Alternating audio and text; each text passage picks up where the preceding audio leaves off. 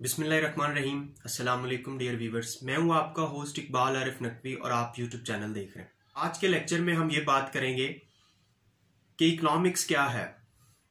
लफ्ज जो इकोनॉमिक्स है, ये लातीनी जबान के दो अल्फाज, आइको और नॉमस से निकला है, जिसका मतलब है हाउस होल्ड मैनेजमेंट अब हाउस होल्ड मैनेजमेंट का मतलब ये कि हम अपनी आमदन को देखते हुए अपने अखराज को प्लान करते हैं। हमने ये देखना होता है कि हमारी इनकम कितनी है और हम उससे मैक्सिमम ज़्यादा से ज़्यादा अपनी कौन सी ख्वाहिशात को पूरा कर सकते हैं। यही इकोनॉमिक्स का ओरिजिन है। लेकिन आजकल के जदीद दौर में हम इकोनॉमिक्स को किस तरह डिफाइन करते हैं?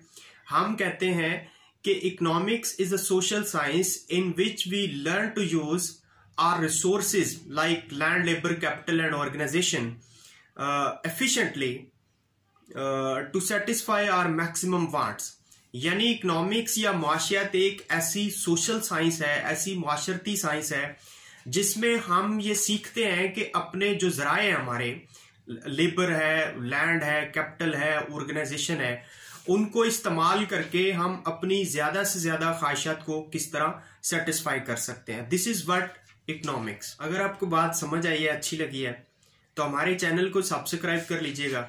अगले लेक्चर तक अपना बहुत सारा ख्याल रखिएगा। Allah Hafiz. Thank you.